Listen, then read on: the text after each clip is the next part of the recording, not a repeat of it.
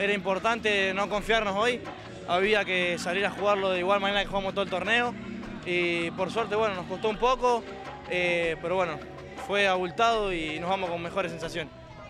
Uno siempre quiere la final con, Brasil, pero bueno, eh, si se da, se da.